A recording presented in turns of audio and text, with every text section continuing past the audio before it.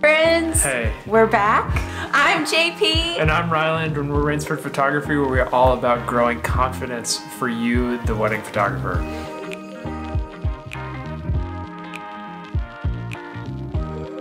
So today we are actually going to be talking to you about something that we get questions about all the time, which is How to even start being a wedding photographer. So lots of people will DM us and ask, hey, how did you even begin your business? How did you become a wedding photographer? Who did you second shoot under? All those kinds of things. And so today we are gonna explain all of that and a little bit more for you. That's right, because guys, we were there. We wanted to start, we decided we were wanting to move towards weddings, and it felt like there were a million and one things that we needed to do to start, just to start, which was totally overwhelming and very easily becomes paralyzing. And so they're really, like JP said, just three things we want to share with you guys today to help you start. Get over that paralysis, subdue the overwhelm feeling, and just start. And so I hope that this will be super, super helpful for you. All right, friends, let's dive in. Our first tip for you on how to become a wedding photographer is simply this practice. Now, the old saying, practice makes perfect, is not just for kicks, it is actually true.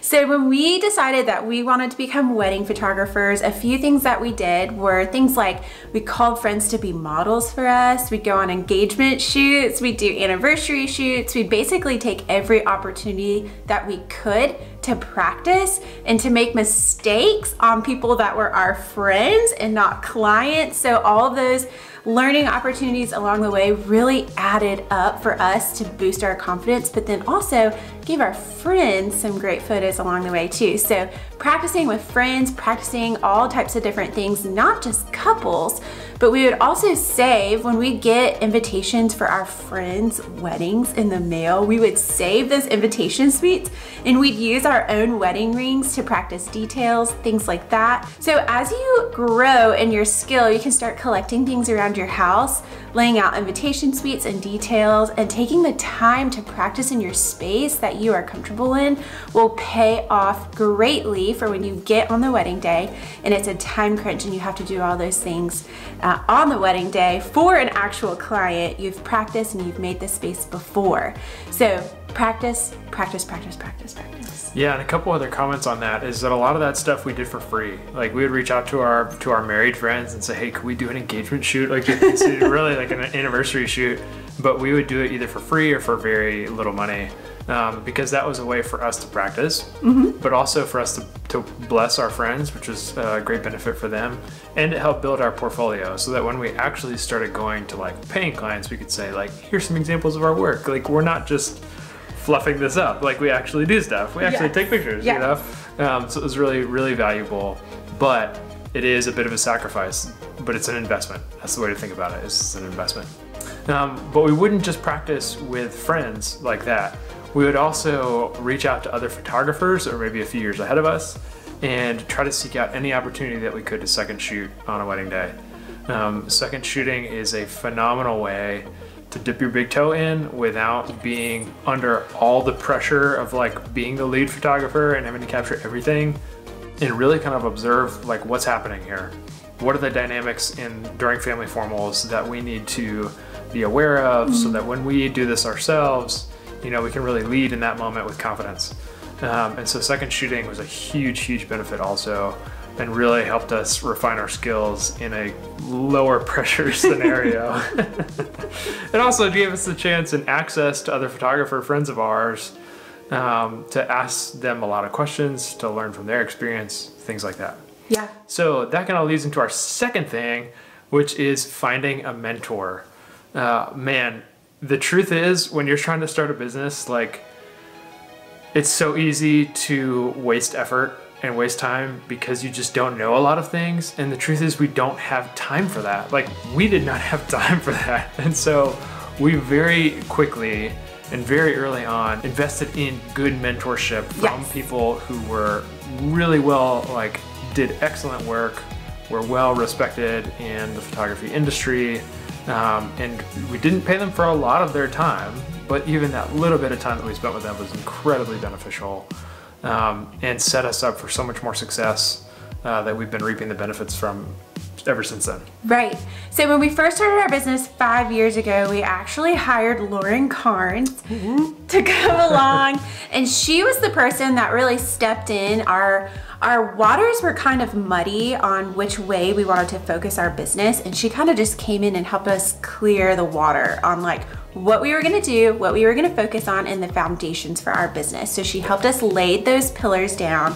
And as we did more mentorship with her, things just became clearer and clearer and clearer and clearer. And I'm telling you, that took so much stress off of us, but it also gave us the opportunity just to ask questions and to feel like we weren't alone in doing anything. We felt like we had um, a friend in the industry. And honestly, when you start your own business, it can feel really lonely. It can feel yeah. super isolating. Yeah. And she was there all along the way, even through 2020. We have asked her so many questions. She's just been a great help. So find someone who is five years, I would say is a good kind of buffer, three to five years ahead of you and say like, this is, this is where I'd like to be. I really admire um, this team or this photographer for a certain reason and I'd love to learn how they set themselves up and how they got there and really just invest with them, invest time. It's just really gonna pay off as you become a wedding photographer. That's right, because you can't afford to waste time, like we said. That's really the bottom line. Um, and it's just great to make friendships with it's other great. photographers. Yes, and you'll find that you'll benefit from that for a long time, yeah. not just through your mentorship. Absolutely. Yeah. So our last tidbit is to invest in education. Early on in our business, we identified, especially one year, that like, man, we've really got to grow in our ability to pose, in our ability to use external lighting, and in our kind of like business fundamentals, our small business excellence. And so we invested in courses um, from top rated, well known photographers in each of those three areas, and it was incredibly beneficial. So how did we do this? We were so small. We had just a little bit of money that we were making and we also wanted to invest in ourselves. We actually just set up a line item in our photography budget that said this is how much we're gonna make and this is the percentage that we wanna invest back in ourselves and so that's how much money we have for education. So go back to your budget, figure out how much you can invest, and then figure out what you want to invest in.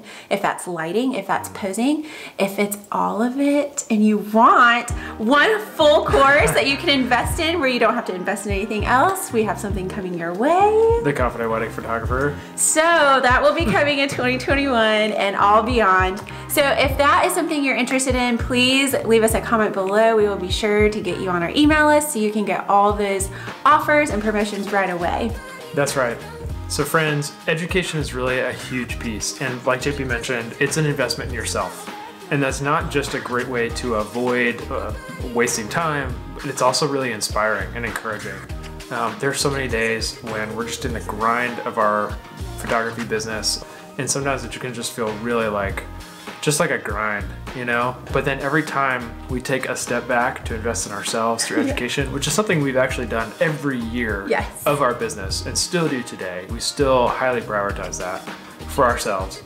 It is just so refreshing and inspiring and motivating, and it helps us to get back out there and to shoot weddings um, with a lot of energy and excitement and enjoyment. Uh, and so it's a huge benefit that we don't always expect. Um, and so if you want to be have confidence for every single part of the wedding day, um, we are going to walk through the exact experience that we had that has built up our confidence and our ability for every single aspect of a wedding day um, in a bunch of individual courses or classes that'll all be rolled into one big course that'll really give you everything you need to conquer your next wedding day with confidence. So be on the lookout for that. Uh, subscribe to our channel, and we'll see you again next time. Thanks, friends. See ya. Or how to become a wedding photographer is to. oh my gosh, I'll take it. Invest in education.